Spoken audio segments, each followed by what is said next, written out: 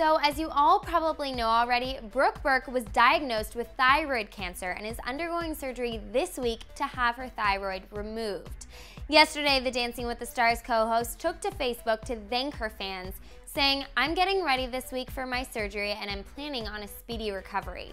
Thank you for following me and for all your thoughts and prayers. I feel it truly, and your energy outweighs my stress. From the bottom of my heart, thank you. It has got to be a tough time for Burke and her family, but she has held her head high right from the start, and we just know she's gonna kick cancer's ass. The 41 year old has decided to blog her way through her battle with cancer and be very honest with her fans and others affected by cancer about what's going on.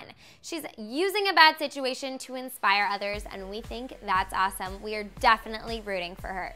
That's all for now. Keep checking back for more news throughout the day.